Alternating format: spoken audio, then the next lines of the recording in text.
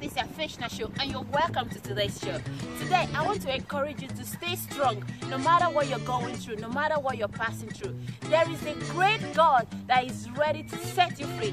And guess what? This God is always ready. When you call Him, He's always ready to answer. So, beloved, no matter what you're going through, no matter what you're passing through, just call on this God, and His name is Jehovah Jireh.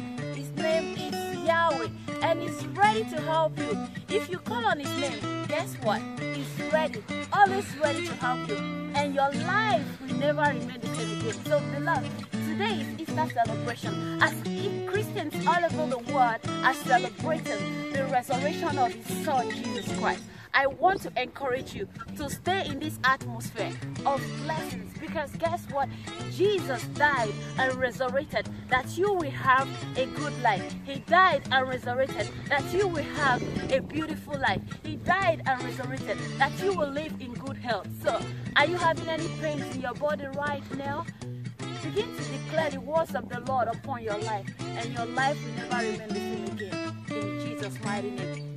By his stripes I am healed in Jesus' name.